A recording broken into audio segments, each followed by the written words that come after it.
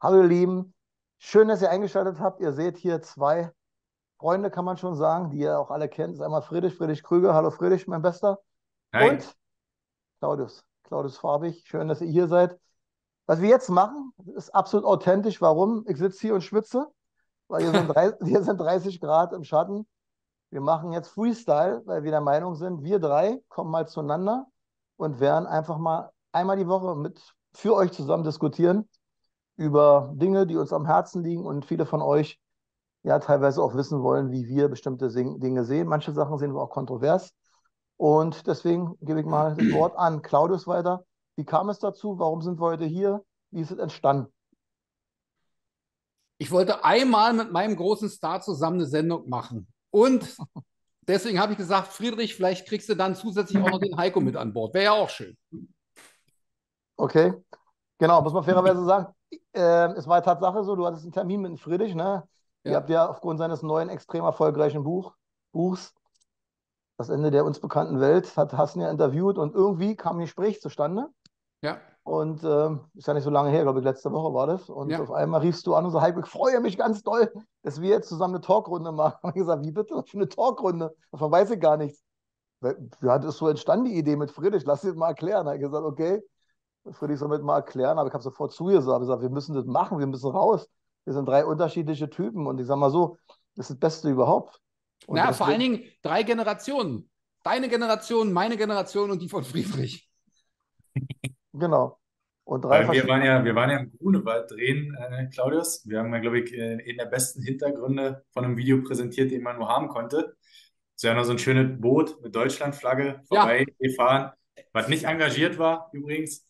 Ähm, an der Stelle mal alle, die bei dir auf dem Kanal jetzt zugeschaut haben, vielen Dank von meiner Stelle. Das waren ja wirklich äh, traumhafte Kommentare und ganz viele nette und liebe Worte. Also habe ich mich sehr gefreut. Und äh, kurzer Info schon vorab. Äh, kann sein, dass der Ton heute noch ein bisschen wackelig ist. Ähm, wir sind sozusagen Pilotsendung heute.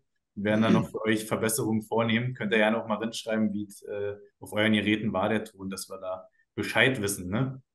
So ist es am Anfang immer, wenn man anfängt, äh, wir haben überlegt, was machen wir? Wollen wir das hochglanzmäßig machen? Dazu hätten wir irgendwelche Techniken noch äh, besorgen müssen, bestimmte Mikros. Und dann haben wir entschieden, nein, wir sind authentische Menschentypen. Ihr seid es auch, unsere Zuschauer. Und da unterscheiden wir uns vom Mainstream. Habe ich schon vor 20 Jahren von jemandem gehört, werde ich nie vergessen, der war, äh, wie heißt der, Kammerdiener im Bundestag. War hochinteressant, dieses Gespräch. Das sind die Typen, die mit dem Wrack immer, ich weiß nicht, ob sie noch mit dem Wrack oder ob sie jetzt ein äh, irgendeine Robbe anhaben, die Regenbogenfahnenmäßig ist. Ich weiß es nicht. Aber damals gab es noch eine Zeit, da sind die so hingerannt mit diesem, kennst du, da war ein Brief drauf von A nach B. Und mit so einem Typen habe ich vor 20 Jahren gesprochen. Und der hat mir gesagt, werde ich nie vergessen, dass ich, dass ich noch weiß, die schlimmsten von allen, die schlimmsten, sagt er, sind die Grünen.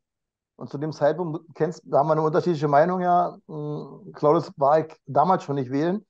Und da habe ich gesagt, warum? Hat mich trotzdem interessiert. Sagt er, das sind Typen, Brot für die Welt und Torte für uns. Und jedes Mal, wenn eine Kamera in der Nähe ist, grinsen die, kaum war die Kamera weg, die haben mich wie der letzte Dreck behandelt. War hochinteressant für mich. Also damals, 20 Jahre her, haben wir gesagt, die CDU-Leute waren eigentlich die, die am höflichsten mir gegenüber waren, also nette Leute. Und die Grünen war so, als ob er der Letzte ist, komm her hier, mach mal dies, das. Kaum kam Kamerateam, ja, hallo, ha. So, und das war die Meinung. Wir sind authentisch, egal ob wir jetzt schwitzen, bei den, weiß ich nicht, wie viel Grad jetzt draußen sind, 30 Grad oder so im Schatten, ist völlig egal. Wir machen es für euch und deswegen wollen, wo wollen wir anfangen? Du bist der tagesaktuelle Typ. Wir sind ja nicht so drin im Tagesgeschäft. Wie du, Claudius, willst du uns irgendwas erzählen? Ja, na, ich- dir heute?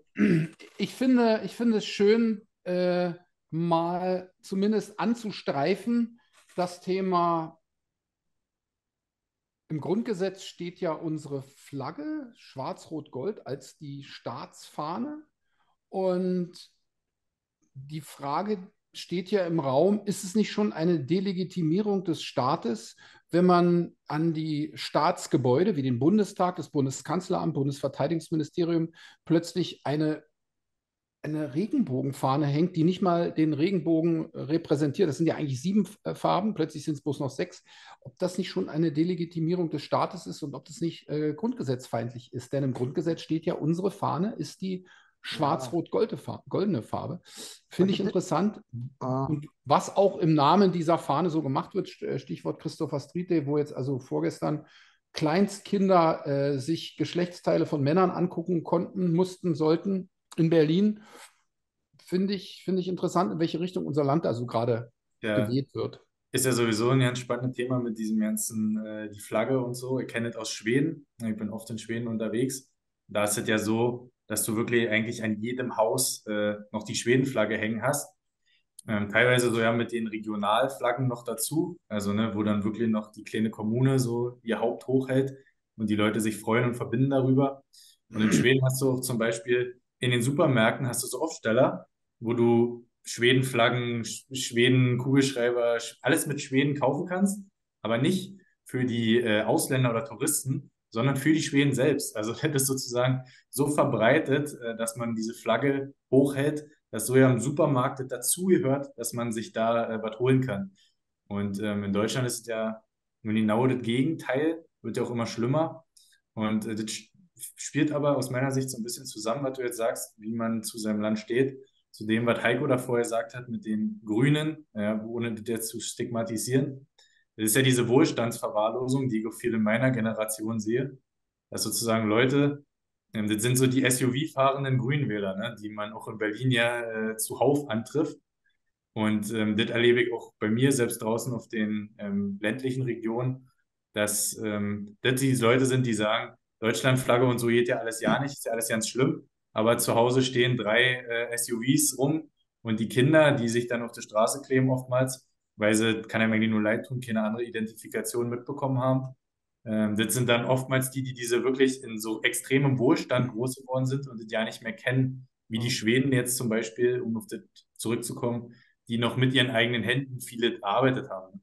Ja, aber ich bin der Meinung, nicht falsch verstehen. Ich meine, da haben, sind wir, haben wir wahrscheinlich keine Schnittmenge so. Claudius, ich habe da schon komplett losgelassen. Wirklich komplett, weil das ist nicht neu. Das Thema höre ich schon vor seit auch 15 Jahren. Hat ein Freund von mir, der ist auch übrigens im Ausland, der lebt in Portugal. Der hatte damals eine große ähm, SEK-Einsatz wegen nichts und wieder nichts. Das ist ohne eigentlich eine interessante Story, muss man fairerweise sagen. Äh, schon so lange her. Ähm, da hat es eigentlich schon angefangen, wo man gegen Leute vorgegangen ist, die, sag mal, sogenannte Systemgegner sind. Und der hat mir damals vom Flaggengesetz was erzählt, spricht in das Thema, äh, was du gerade besprochen hast, an. Flaggengesetz, das jetzt eigentlich irgendwo hinterlegt ist, wenn ich daran glaube, dass es Gesetzmäßigkeiten gibt. Wenn aber, wie du weißt, oder ich glaube daran, dass mittlerweile ähm, die Juristerei sich völlig abgekoppelt hat von den ganzen Gesetzen, sondern das sind ähnlich wie in totalitären Regimen äh, im Endeffekt äh, Urteile. Ich sage nur das aktuelle Urteil, was du in der Sendung auch gebracht hast. Die beiden Ärzte, die jetzt ins Gefängnis mussten wegen Maskenatteste. Ähm, und Deutschland wird vergewaltigt. Äh, die äh, Clans können machen, was, was sie wollen. Aber jetzt kommt's. Es geht doch immer weiter. Also, je, wir können jeden Tag uns immer wieder neu aufregen. Ich meine, ich habe vor über zehn Jahren mein erstes Buch geschrieben und ich sehe doch die Leute über die Jahre. Die meisten sind de depressiv, die sind völlig am Ende. Also die Leute, die wie wir erwacht sind, die kommen teilweise damit gar nicht klar. Und jeden Tag kommt die nächste Lüge, die Lüge, die Lüge, die Lüge, Lüge. Und deswegen bin ich der Meinung, sollte man einen anderen Weg einschlagen, meiner Meinung, als jeden Tag sich darüber Gedanken zu machen, wie wir verarscht werden. Weil es ist leider China so gewesen bei Mao. Es ist, äh, kennst du selber, in Kambodscha in 70er Jahren, darf man nicht vergessen. Da sind zwei Millionen Menschen umgebracht worden. Das wird gar nicht groß thematisiert. Bloß, also in dem Fall von Kommunisten, bloß weil sie einfach eine andere Meinung hatten. Und ich muss fairerweise sagen, Deutschland ist auf einem ganz schnellen Weg, gerade dorthin, in diese Richtung. Geht es dort? Ich bin gleich fertig. In meiner neuen Sendung heute habe ich eine Statistik mal hochgehalten. Die war für mich so einleuchtend, die ihr gestern gefunden ist der Hammer. Kannst du im Internet finden, da geht es darum, alle Länder der Welt zusammengenommen, Christopher Street Dates im Jahre 2023, wie viel finden statt? Mir ging es um Polen. Ich wollte einfach nur wissen, machen die sowas auch oder nicht? Musste ich feststellen, ja, die machen einen CSD, wo auch immer, einen im Jahr. Weißt du, wie viel Deutschland macht eigentlich, Claudius? Ich glaube, es war für deine neue Sendung im Jahr. Na, also wir sind inzwischen schon bei 1000 bestimmt oder noch nee, mehr. Nee, nee, nee, nee, so ist es nicht. Also um das ein bisschen spannend für die Leute rüberzubringen, ich habe jetzt die Liste nicht da, liegt im anderen Raum. Finnland, ich habe es aber im Kopf groß. Finnland macht eine Veranstaltung, Tschechien macht eine Veranstaltung, Spanien, glaube ich, nagel mich nicht fest, macht drei oder vier. Deutschland macht 156.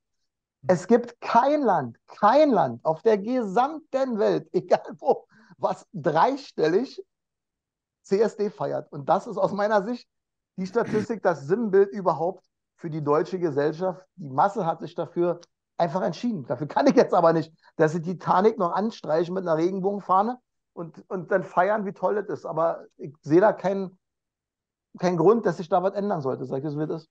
Naja, wobei ich, ich entschuldige ganz kurz, äh, Ja, ich, durch. widerspreche, ich widerspreche ungern, ich muss es aber tun. Ich glaube nicht, dass es die Masse ist. Ich glaube, dass die Majorität der Menschen einfach nur unpolitisch sind und sich nicht interessieren. Es interessiert sie nicht. Sie gehen da nicht hin, sie gucken es sich nicht an.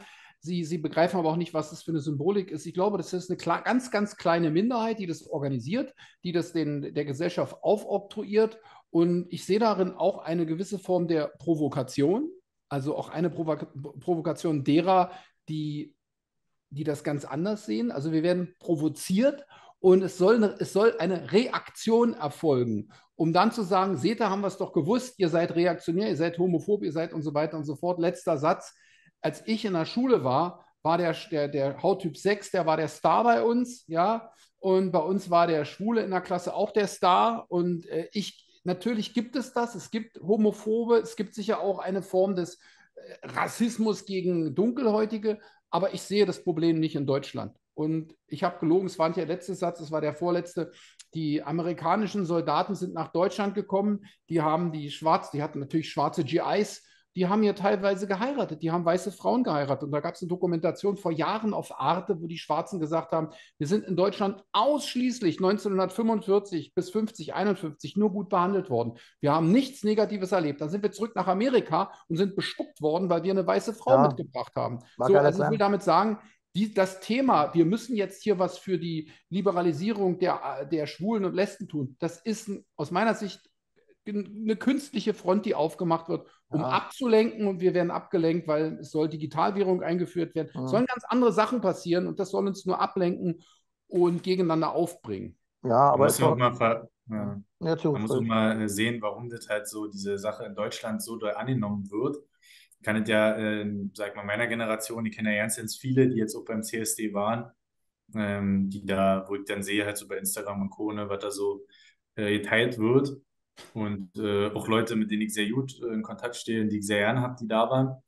Und man muss immer sehen, diese, mh, dieser Angriffspunkt sozusagen, wo die Leute abgeholt werden, ist dieses mh, über den CSD und ähnliche Veranstaltungen, eigentlich ist es immer das Gleiche, auch bei Klima und Co., wird quasi in einen Raum aufgemacht, wo dir gesagt wird, wenn du dafür einstehst, dann bist du richtig und dann bist du gut, so wie du bist, wenn du so und so tickst.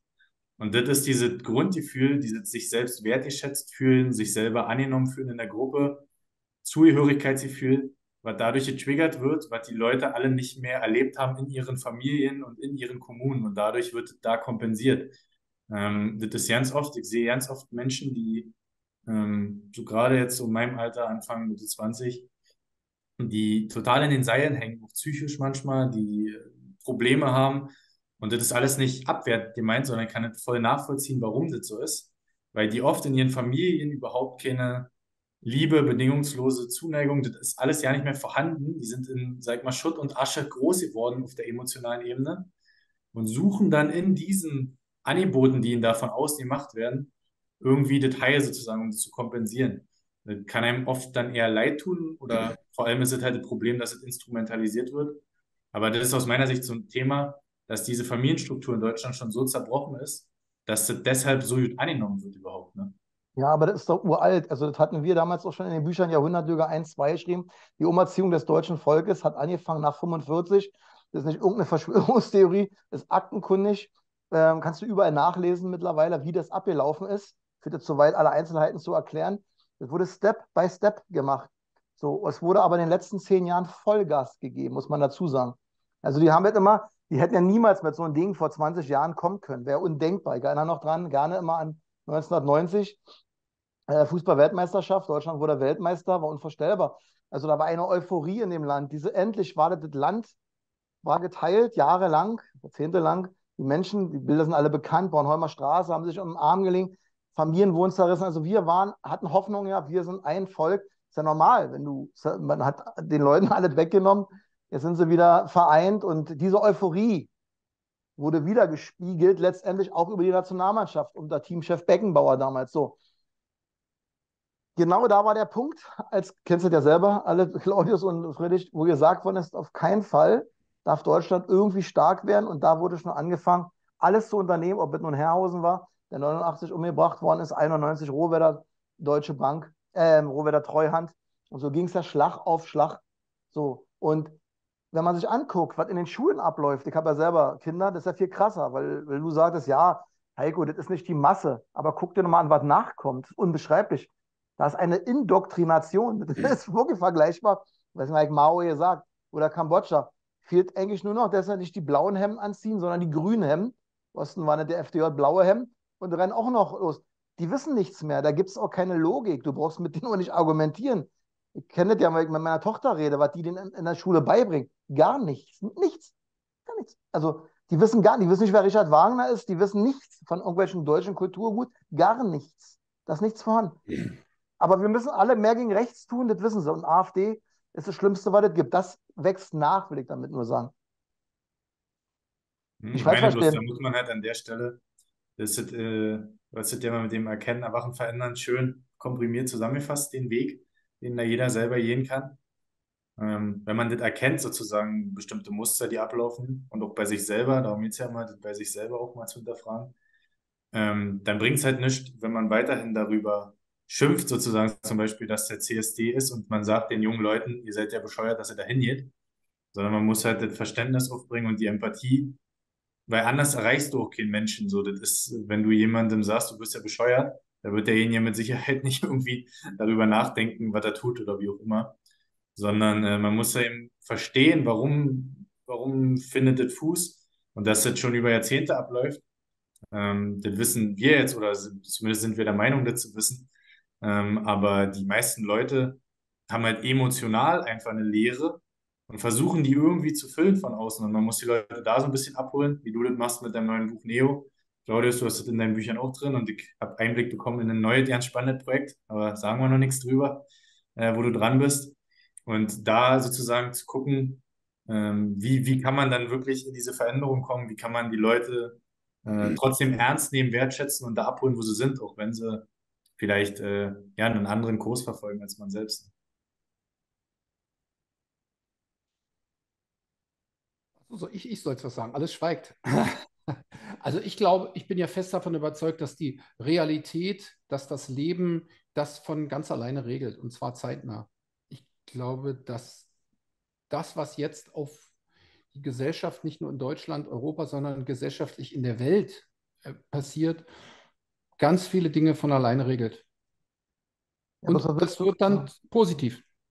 Okay, im Endeffekt, jeder Mensch hat recht. Ich sage immer, Buddha hat gesagt, euch, also Jesus sagt euch geschehe nach eurem Glauben. Und er hat gesagt, Buddha, jeder Mensch erschafft sich die Welt mit seinen Gedanken. Deswegen hat grundsätzlich jeder recht, weil es ja keine objektive Welt gibt. Ich persönlich bin Freund davon zu sagen, lass uns doch mal die Perspektive wechseln. Deswegen bin ich ein Nachtmensch und freue mich jedes Mal drüber, wenn ich einen Sternenhimmel sehe. Ich habe ja schon x-mal Vollmondnächte festgehalten äh, weil ich mich dann meditativ in die Lage versetze, ich bin Stern. Viel spannender, du kannst ja machen, Meditation, ich bin der Stern, der guckt runter. Tut mir einen Gefallen, das ist jetzt so lächerlich, was wir überhaupt hier besprechen. Ich weiß nicht, ja, aber da guckt der Stern auf ein Staubkörnchen, was irgendwo blinkt am Ende und dann nennt sich, der ist ein Planet, der nennt sich irgendwie Erde. Hat man mal so gesagt, auf diesem Planeten, da rennen die Leute ganz nervös hin und her, bringen sich um und der ist schuld, der ist schuld, verseuchen das Wasser und die Bäume weil, wenn er denken könnte, jeder Stern, oder wenn er jetzt ein außerirdisches Raumschiff unterwegs war, würde das über Funksprüche empfangen. Nur was hier abläuft, wo die sagen, um Gottes Willen. Da müssen wir jetzt schnell weg, das ist ja für die geistige Störte. Also in der Unendlichkeit des Universums, ja, ja. Man, man, redet über Paralleluniversen sogar mittlerweile. Das Problem ist, dass der Verstand sich die Unendlichkeit nicht vorstellen kann. Wir werden ja so konditioniert und dressiert, hätte ich selber, muss ich wirklich sagen, nicht für möglich erhalten. Und an der Stelle ein großes Kompliment an dich Claudius, bewundere ich immer wieder deinen Enthusiasmus, den du reinbringst und die Argumente, wo du recht hast mit den Corona-Maßnahmen. Was die mit den Leuten hier gemacht haben, ist unvorstellbar in dem Land. Und die gleichen Leute sind immer noch irgendwo an der Macht. Wo man sagt, wie kann das sein? Und so geht es ja immer weiter. Ob wir jetzt nun draußen jetzt verbrennen, macht Fisch und wir sind alle weg. Also die Lüge ist ja so groß. Also teilweise, die werden ja überführt wie Lauterbach. Das ist der Mann lügender Betrügers. Aber die machen immer weiter. Sie machen immer weiter. Jetzt kann ich mich auch darüber echauffieren.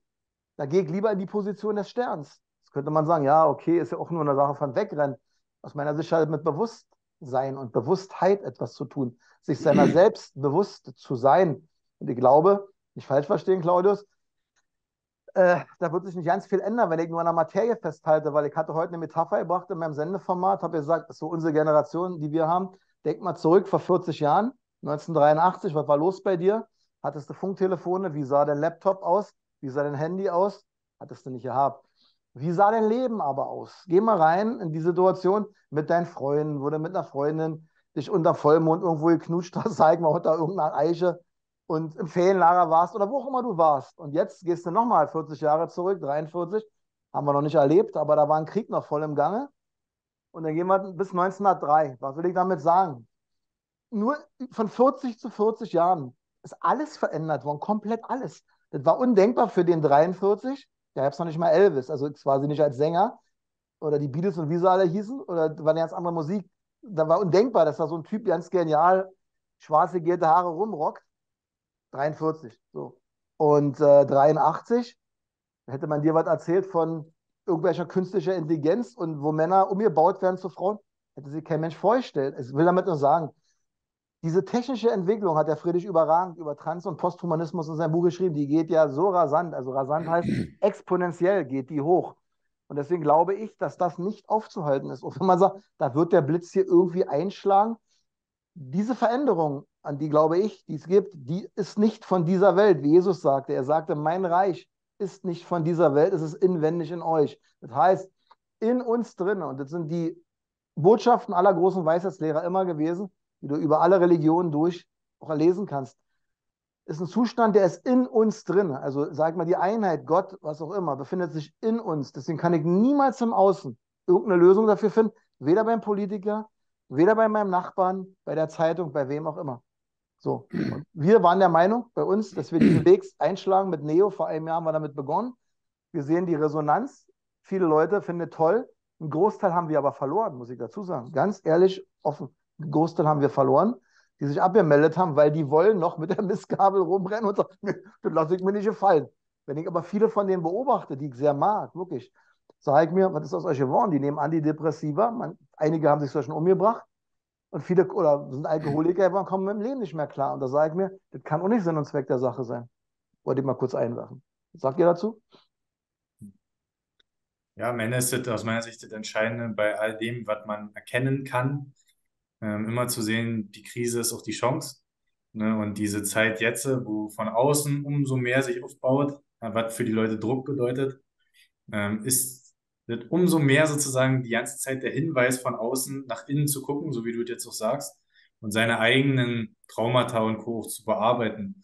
Und diese, äh, was du jetzt sagst mit der technischen Entwicklung, ähm, das muss man auch immer bei diesen, was ich vorhin gesagt habe, zu Thema CSD und Co. sehen ich bin jetzt 25, die Generation von mir ist so die erste. Ich habe so mein erstes Handy mit 12 bekommen und das konnte noch nicht viel, außer dass wir uns bei Infrarot äh, noch vernünftige Rocklieder hin und her geschickt haben.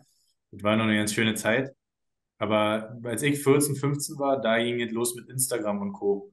Und die Generation, die jetzt kommen, die wachsen meistens seit dem sechsten, siebten Lebensjahr mit dieser Welt auf, mit Internet, mit Social Media und Co.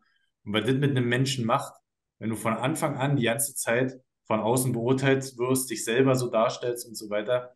Das ist eine Welle, die da auf uns zurollt, äh, von Menschen, die diesen inneren Frieden noch nie erlebt haben und danach eigentlich suchen irgendwie, ähm, weil sich die meisten ja nicht vorstellen können. Und deshalb ähm, sozusagen immer mein Appell, empathisch zu sein, auch mit anderen Menschen und so zu gucken, was kann ich von dem anderen lernen? Man kann ja von jedem was lernen, ja? auch wenn da jemand steht, bei dem ich sage, Mann, was ist das für ein Idiot? Wieso denkt der so? Dann zeigt er mir auch Sachen in mir, die mich triggern, wo ich selber was lernen kann, wo ich selber ruhiger werden kann, mit der Situation umzugehen. Ganz kurz, ich muss mal kurz eingrätschen. Ähm, das Kuriose ist ja eins, man denkt ja immer, hat man mal gesagt, die Leute, sag mal so wie wir damals, äh, 2020, die Köpfe, sag mal, der sogenannten, ich nenne die mal Freidenkerbewegung, die sind ja ganz gefährlich für das System und deswegen wurden wir auch alle bekämpft. Ich sehe das ja nicht mehr so. In Wirklichkeit sind die, nicht umsonst wurde Jesus ja gekreuzigt, die, die wirklich Liebe, Harmonie, Barmherzigkeit, Mitgefühl, das nicht nur predigen, leben, das sind die gefährlichsten. Die sind viel gefährlicher, weil die andere Seite, muss dir vorstellen, die eine bekämpft die Seite. Die, ob sie links oder rechts sind, oben, unten, ist völlig egal. Aber in der Polarität gibt es ja immer zwei Seiten, Mann, Frau, hell, dunkel, plus, minus, sonst existiert gar kein Strom. Deswegen habe ich dir auch in der Nachricht über CSD gesagt, ich kann nur lachen über die ganze Mechanik, ist natürlich für die wieder homophob. Ich sage hier, wenn es nur Plus, Plus gibt, na, das stößt sich ja eigentlich ab. Und die Einheit, darum geht es ja, die Einheit, die wir nicht begreifen können, also manche nennen die Gott, die ist zeitlos, die ist ewig, die ist das ewige Hier und Jetzt. Wir sind ja gefallen, leben in der Polarität. Das heißt also, ich brauche ja eine Vereinigung von Plus und Minus, also Mann und Frau, um überhaupt die Einheit erfahren zu können. Ich brauche mal zwei Dinge, um überhaupt Einheit zu erfahren. Und wenn man sich anguckt, was hier abläuft, ich sage nur Single-Haushalte, ich sage nur Emanzipation, ich sage nur Gennahrung, ich sage nur Gender, also für Deutsch, ihr braucht eigentlich gar keinen. Ihr braucht mit einer Cola Light, Aspartam, verseucht nur zu Hause da sitzen, floriert ihr, floridiert euch schön die Zähne danach, alleine, und dann passt es schon. Das heißt, aus meiner Sicht ähm, kann das so theoretisch nicht funktionieren und deswegen sind die Menschen, die diesen Weg, den wir jetzt eigentlich einschlagen, wahrscheinlich noch viel gefährlicher für das System, als alle anderen, weil die bedingen sich nur gegeneinander. Verstehst du? Ich will gegen den kämpfen. Bedingt sich nur einfach mal. Meiner Meinung. Aber das, was ihr beide gerade gesagt habt, ist nicht konträr zu dem, was meine Vision ist. Es bestätigt meine Vision. Und ich sage euch auch warum. Weil ihr habt beide aus meiner Sicht zu 100 Prozent recht. Und was Friedrichs Einschätzung anbelangt, dass die, die große Suche nach der nach dem Auffüllen der inneren Leere, gerade bei Menschen unter 40, die, die diese innere Fülle vielleicht nie erlebt haben, viele von denen, weil sie die Familie nicht hatten, die Großeltern nicht hatten, eine fernsehfreie Zeit nicht hatten, eine mobilfunkfreie Zeit nicht hatten, weil sie es nicht kannten, dass der Laden um 18.30 Uhr zumacht und so weiter. Äh, ich glaube, und ich mache jetzt mal einen Gedankensprung, der aber reinpasst. Man hat uns damals gesagt, mit der CD stirbt die Langspielplatte. Und was war die letzten drei Jahre? Dreimal hintereinander wurden mehr Langspielplatten auf der Welt verkauft als CDs. Liegt auch daran, dass kaum noch einer CDs kauft. Aber die Langspielplatte knallt hoch seit Jahren, seit zehn Jahren, immer mehr, immer mehr. Das ist was ganz Analoges. Und ich bin fest davon überzeugt, dass Gott, nicht der alte Mann mit dem Bart, Gott das Gute, Gott in dir, in mir, in uns, in den Bäumen, in den Flüssen, in den Meeren, das Göttliche, das Gute, dass Gott sich durchsetzen wird und dass all die, die immer irgendeinen Führer suchen, und das ist der Führer bei der Antifa, das ist der Führer bei Fridays for Future, bei Lost Generation, der Führer bei Putin, der Führer, die nach diesem Führer suchen, der, den ihr gerade auch skizziert habt, der die innere Leere füllen möchte, der wird letztendlich auch denen nachlaufen, die eine andere Vision haben, nämlich die Vision der Liebe, der Vergebung, der Verständigung, des Miteinanders. Eine Vision, die ich für mich auch in Anspruch nehme, auch wenn es jetzt äh, pathetisch klingen mag, aber auch für euch. Ich glaube, dass wir keine Sorge haben müssen vor der großen, breiten Masse, die absichtlich verdummt und verblödet und hypnotisiert worden ist. Ich glaube, dass diese große, große breite Masse bereit sein wird, weil es genetisch im Menschen drin ist, analog zu leben und zu lieben. Ich bin fest davon überzeugt, es wird kommen. Und dafür, letzter Satz, und dafür muss es jetzt erstmal den Weg gehen, den wir alle zusammen in Deutschland und der Welt, in Europa gehen, in die nächste große Krise, die gewollt ist. Und, aber trotzdem, ich, ich glaube, es geht analog weiter. Sehr schöne Worte, Claudius. Ähm, ich glaube, wir haben jetzt auch schon eine ganze Menge wieder aufgegriffen insgesamt. Weil ich würde gerne noch ähm, natürlich die wichtigste Frage, was die Leute wirklich interessiert. Du bist der Einzige, der von uns äh, unsere schöne oder nicht schöne Hauptstadt besiedelt. Äh, Löwe oder Wildschwein? Also das finde ich ja. Robert hat so schön abgearbeitet. Robert Matuszewski. Robert sagt, böse Zungen sagen, ihr, ihr wisst nicht, was Mann und was Frau ist und ihr wisst nicht, was Wildschwein und was Löwe ist. Und dann kommt der Oberknaller. Es war ein hell, ein hell, wörtlich hellfälliges Wildschwein. Also erstmal hat ein Wildschwein kein Fell, sondern Borsten. Und äh, es ist natürlich es steckt irgendwas anderes dahinter, ähnlich wie mit dem Sprengplatz im Grunewald, wo ja acht Tage die Autobahn, die äh, Fernbahn und die S-Bahn gesperrt war, weil der gesamte Wald abgebrannt ist. Die Welt hat darüber berichtet. Nun kenne ich jemanden, der da sehr nah dran wohnt, also sehr nah dran wohnt. Und ich selber gehe da auch immer spazieren. Und mhm. komischerweise, als wieder alles offen war, war kein Baum verbrannt. Also man kann das besichtigen. Wenn der mhm. Wald zehn Tage gebrannt hat, also richtig, lichterloh, dann müssten da auch Bäume weg sein. Die sind aber alle da. Also mit anderen ja. Worten, das, was man uns da erzählt hat, ist das Gleiche, was man uns mit dem Wildschwein erzählt hat. Es ist eine Ablenkung, ist eine Rauchbombe, eine Blend Blendgranate, um irgendwas anderes zu machen. Ich weiß nicht was. Ich will nicht spekulieren, aber da wurde Doch, ganz sicher kein Ja, kann man, doch, ja, kann man spekulieren. Äh, Im Endeffekt habe das Thema nicht aufgegriffen, habe da nichts gemacht, weil es ist eigentlich lächerlich. Da springst du auf jeden Stock hin, äh, den sie dir hinschmeißen. Ja, ja. Wenn jetzt nur in meiner Region ist, da sind Seen ohne Ende und äh, da haben sie also alles ausgetrocknet, ausgetrocknet. Und ich bin hingekommen, also so, so, so hoch war das Wasser noch nie. Also der Stimmt. Wasserstand. Also kein, kann- bei mir sind mehrere Seen in der Nähe. Auch heute, auch heute, Ja, richtig. ich war heute schwimmen, ich war Ja, gestern zweimal schwimmen. Also ich gehe jeden Tag einmal mindestens schwimmen. Ähm, das ist für mich das Größte, was es übrigens gibt, kann ich allen nur empfehlen. Äh, abends ist aus meiner Sicht das Schönste, wenn keiner da ist und die Sonne gerade am Untergehen ist und du schwimmst Richtung Sonne. Aber jetzt kurz zurück zu der Geschichte. Ich verstehe das schon, dass man so ein bisschen angetriggert ist. Äh, was könnte sein? Natürlich habe ich links, rechts mal geguckt und ihr kennt vielleicht auch die Geschichten, die finde ich ja viel spannender. Ähm, in meinen Büchern damals habe ich immer verarbeitet, Barschel ist übrigens zum Beispiel ganz kurz, 87 war das, werde ich nie vergessen, habe ich im Radio gehört, äh, Barschel mh, hat sich getroffen mit Waffenhändlern in Genf. Diese Meldung habe ich genau einmal nur gehört, da war die weg. Einmal. Und damals habe ich schon gewusst, da haut irgendwas nicht hin. So, und hier ging es ja darum, dass ja äh, das angebliche Wild, also der, der Tiger wurde ja, der Lö die Löwin wurde ja in, in Kleinmachnow ja irgendwo gesehen. Und der Sohn von dem großen Remo-Chef, doof wie er war, muss man sagen, hat bei Instagram ja nachweislich ja gepostet, ähm, dass der Löwe weg ist, wo man weiß, dass der, so wie Siegfried und Roy, so was der Tatsache hält. Und die ganz durch Zufall auch in Kleinmachnow wohnen und bitte nicht erschießen, den Löwen. So. Und jetzt geht aber eins los. Da es also, sagen wir mal, kriminelle Clans, die ja nur hier machen können, was sie wollen in Deutschland, vom Steuerzahler letztendlich jetzt ein Rieseneinsatz bezahlt wird, der richtig Geld kostet, damit er quasi seinen Löwen oder seine Löwen wieder zurückbekommt. So. Das ist eine Story, die kann ich mir vorstellen, dass die Tatsache so gewesen ist. Also sagt man sich, jetzt verdrehen wir das wieder mit irgendeinem Wildschwein. Wichtig ist, die Leute, die müssen immer äh, unterhalten werden. Unterhalten, unten gehalten werden. Vergleichbar wie im Sommer, ihr kennt es, oder bei Fußball, WM, EM, da wurden die meisten Gesetze durchgewunken. Immer da, wo die wenigsten äh, Abgeordneten da waren. Das läuft schon seit Jahrzehnten so ab. Es ist nur ein Sommerloch und deswegen ist es unwichtig, überhaupt aus meiner Sicht Aufmerksamkeit der Sache zu widmen. Aus meiner Sicht. Viel schlimmer ist ja die Frage, die stelle ich jetzt nochmal trotzdem an dich, Claudius, du bist der Politikexperte zwischen uns. Wie kann das sein? Da bist du glücklich tiefer drin als wir beide zusammen.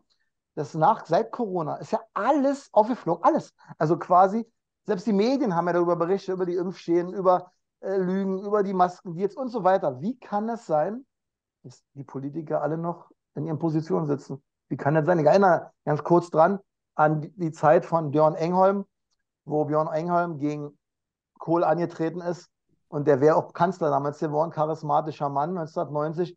Und da ist rausgekommen, dass er nur wusste von der von dem Medienreferent Pfeiffer damals mit der Abhörgeschichte. Und er hat gelogen damals per Eidesstadt gesagt, er weiß nichts davon. So, und der Mann hat also gelogen, das kommt raus und sagt, okay, dann trete ich zurück. Obwohl er eigentlich Bundeskanzler geworden wäre. Jetzt fragt man sich, ist das jetzt ein Garant für die Politik, nicht reden zu können Deutsch, lügen zu können, bis die Balken biegen?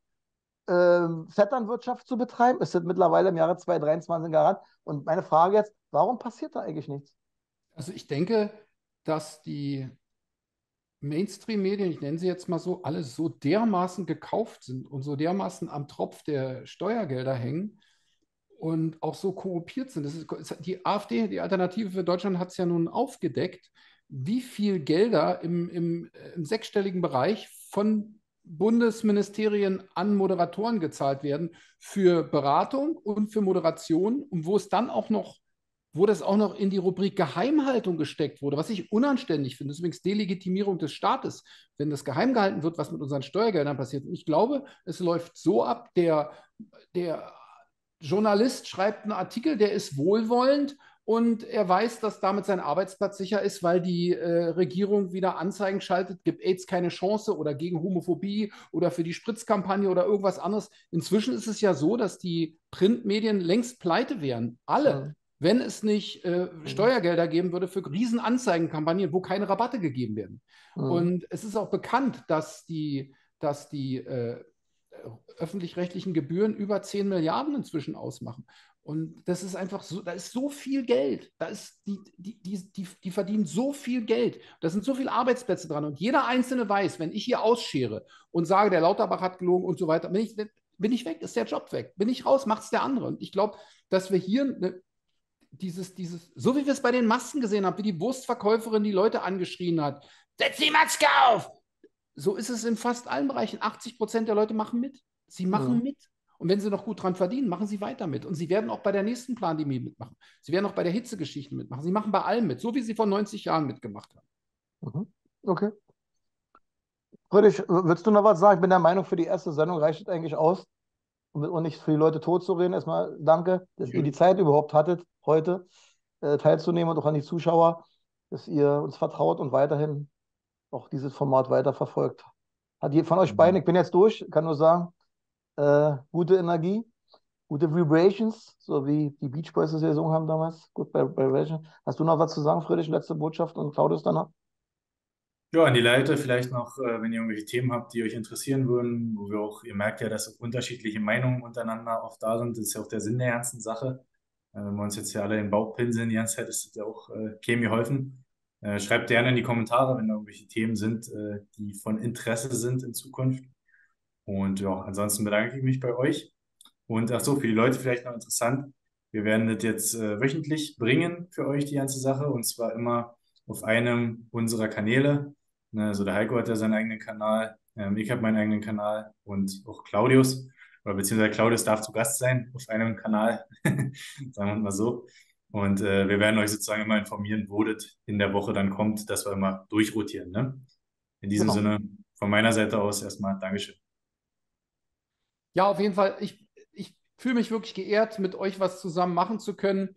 Heiko ist ja schon immer mein Held, schon lange, lange, lange. Und äh, lieber Friedrich, äh, ich habe es ja neulich schon in unserer gemeinsamen Sendung über dein tolles neues Buch gesagt. Du gibst mir wirklich Hoffnung, dass nicht Hopfen und Malz verloren ist in unserem Land. Und äh, liebe Zuschauer, ihr seid, das weiß ich jetzt schon, ihr seid genau das tolle Publikum, was ich von Friedrich, Heiko und von mir kenne. Ihr seid großartig und dank euch ist es überhaupt möglich, dass wir hier sowas machen.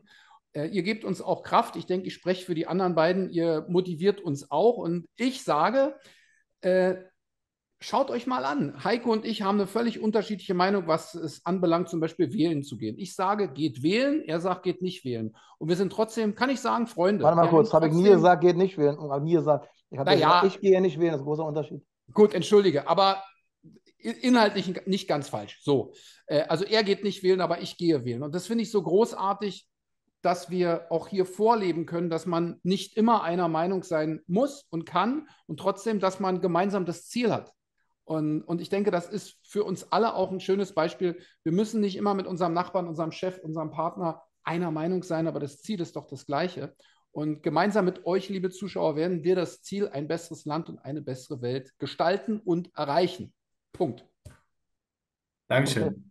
In diesem Sinne, alles Liebe. Danke fürs Zuschauen. Bis zur nächsten Sendung.